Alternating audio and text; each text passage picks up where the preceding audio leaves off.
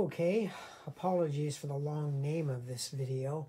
I just couldn't think of a better title or a shorter one. But what I propose to do in this video is to show you why I think Great Campaigns of the American Civil War is one of the best simulations out there on Civil War campaigns.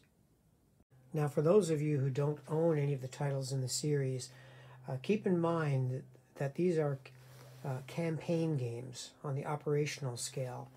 So don't be fooled by thinking, well, I'll get Roads to Gettysburg 2 and I'll have a great Battle of Antietam game, a Battle of Gettysburg game, and the Battle of the Monocacy. These are not battle games. They are full campaigns at the operational level. So what I propose to do in this video, and I don't know how long it'll be, it shouldn't be too long, I want to show why these are some of the best simulations on the market of Civil War campaigns. And I propose to do that by comparing two games. Uh, Grant Takes Command, which is about the Overland Campaign in 64, and the Old Wilderness Campaign by SPI. Now, to be fair, we have to keep in mind that Wilderness Campaign was designed in 1973, and uh, the first title in this series came out in uh, 1993. So this series is, you know, designed 21 years later. So are we comparing apples and oranges? Not really, and I'm going to try to show you why. Now, let's get one thing straight. I am not taking a backhanded slap at Wilderness Campaign.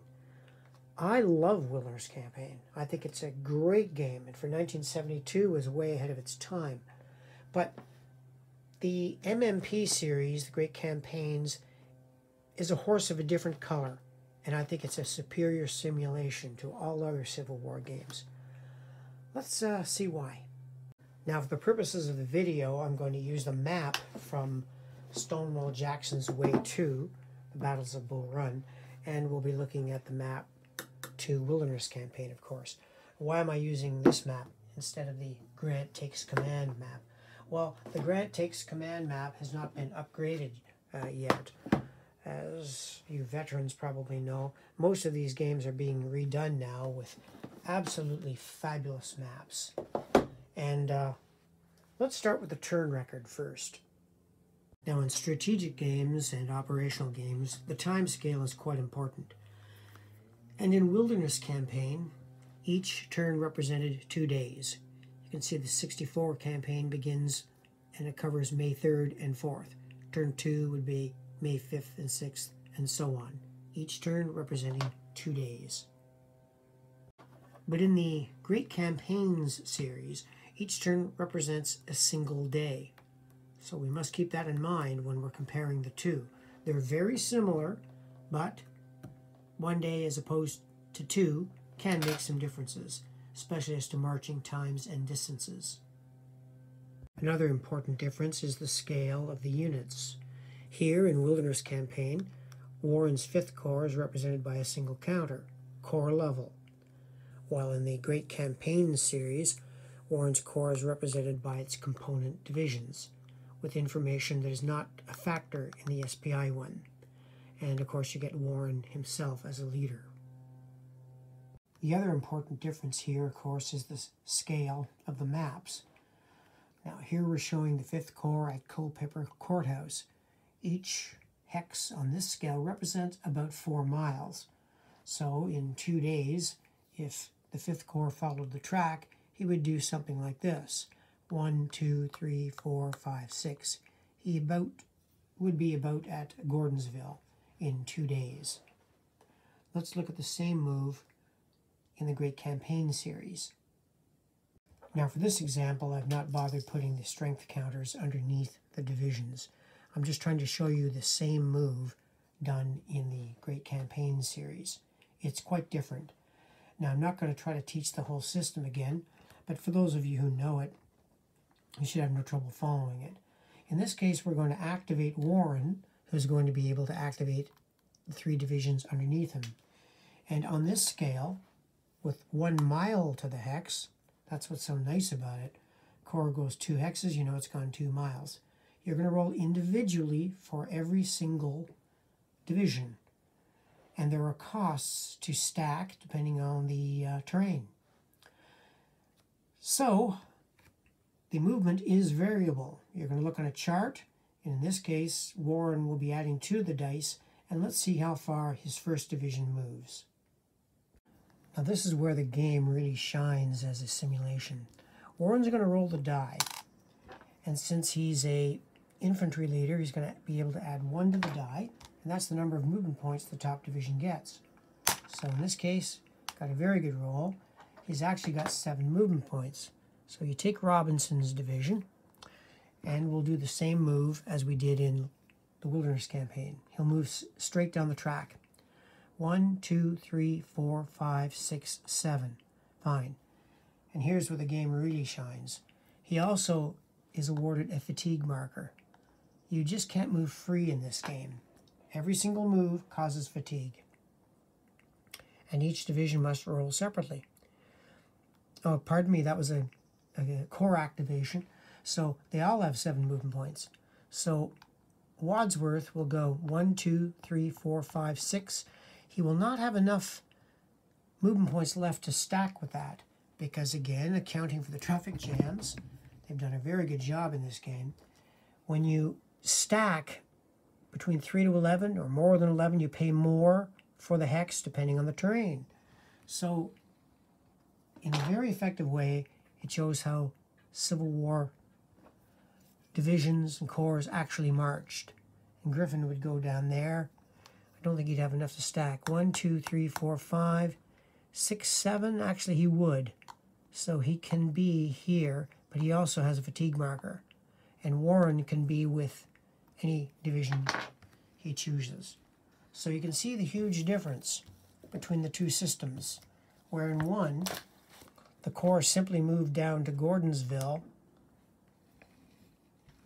with no fatigue at all. He's going to be able to move six every single turn, that's every two days, infinitely.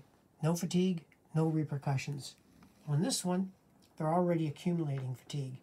It's a superior way of showing the way corps, divisions actually marched.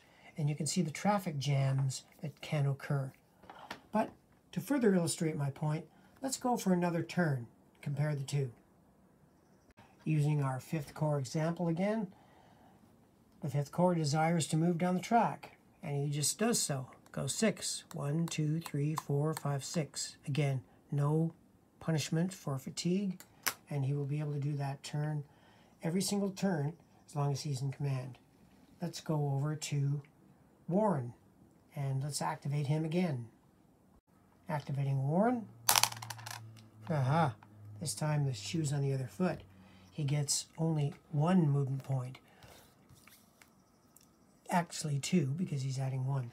So, this is a whole horse of a different color. Warren stays there for the moment.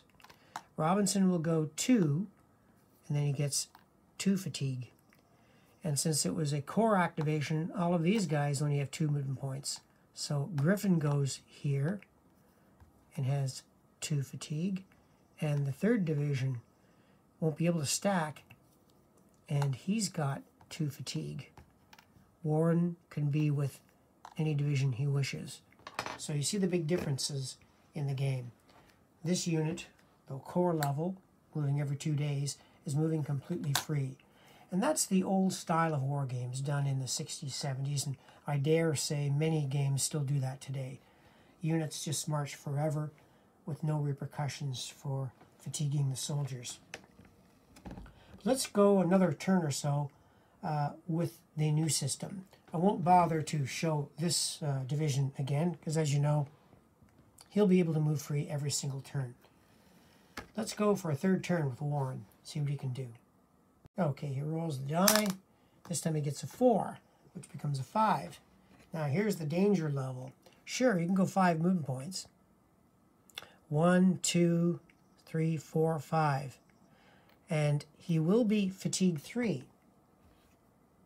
But when you roll and achieve a fatigue three result, you have to roll again to see if you're going to get the penalty for an extended march. So you roll, and he gets a 6, and that is not good. That's a D result, which means his organization marker would be turned upside down. Those are normally under each counter. You see it's organized. He would become disorganized. Put that underneath. And now you can see the penalty. He's fatigue three and he's disorganized. And these fellows do the same thing. They can march, but they have to roll individually for extended march. Griffin would roll for extended march. He gets a 6-2. Again, not very good. So we take his organized marker, flip him to disorganized, and put it underneath. And we'll put uh, Warren with him. Well, let's see how this fella does. Wadsworth. Oh, he's on the wrong side. Wadsworth. Put a fatigue marker on him. Roll for extended march. And finally, he does not get disorganized. So his organization march, uh, marker would stay intact underneath him. So already in this game, you can see the superior method it's using to show the marching of soldiers. Soldiers get tired, they can get exhausted, they can get disorganized. Now, I won't follow any more, but the logical, logical extension of all this marching is eventually you go to fatigue 4, or you have to stop. And next turn, you get to remove some of these fatigue markers. So that's one of the big differences between the Great Campaigns system and every other Civil War operational system. Okay, well that's all I need to show in the video. I think I've addressed the query about the title. That's why I think the Great Campaigns of the American Civil War is the best system for simulating Civil War campaigns. Now, don't think that you can just take the Civil War system and just retrofit it to all your old Civil War games.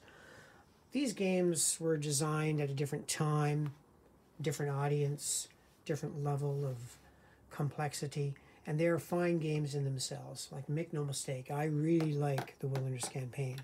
And if I, don't, I, I want to play a quicker moving uh, game on the Wilderness Campaign, this would be the one to play. But if you want to simulate Civil War campaigns and battles, I don't think you can do any better than playing Great Campaigns of the American Civil War, currently published by MMP, Multiman Publishing. So that's it for today, and uh, thank you for watching.